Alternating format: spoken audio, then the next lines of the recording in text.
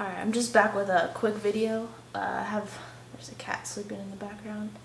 Um, obviously it's a different location, home for the holidays, but I just wrapped up some customs, so I just wanted to preview them for you before I send them out, because um, I'm not going to have any, any pictures or video of them, and wanted to talk about my website. So first let me show you the customs. They're um, Air Force One mids, size 11, um, probably the quickest customs I've ever done did in one weekend. I didn't do any video, but they're uh, Dallas Cowboys inspired. So, yeah.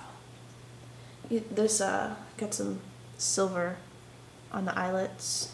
Oh, it's all dry, but silver on the eyelets, um, blue around the toe box.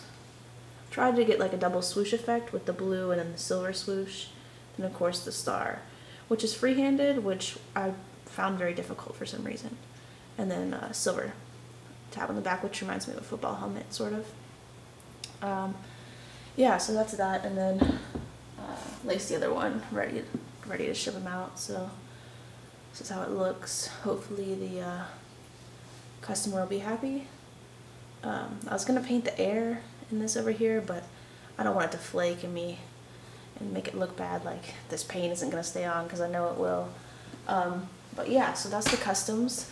And um, I want you to go check out my website and I need input on it and maybe some of you out there, my subscribers or followers or anyone that sees this can help me out with like web design and stuff like that because I this is a it's a free website. It's webs.com where you can, you know, create your own. It already has like the templates and you can put stuff in. So it's www.booshoes.webs.com. And I'll put it in the description box below so you can click on it.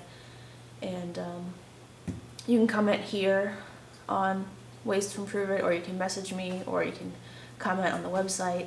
Just any way you want to get in touch with me is fine. And um, I'll be back with hopefully more customs definitely some more pickups and uh, new sneaker related ideas soon. So just stay tuned